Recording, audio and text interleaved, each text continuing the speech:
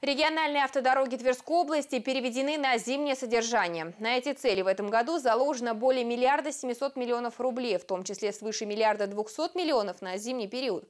Комплекс работ по зимнему содержанию включает в себя очистку дорог от снега и их обработку противогололедными материалами.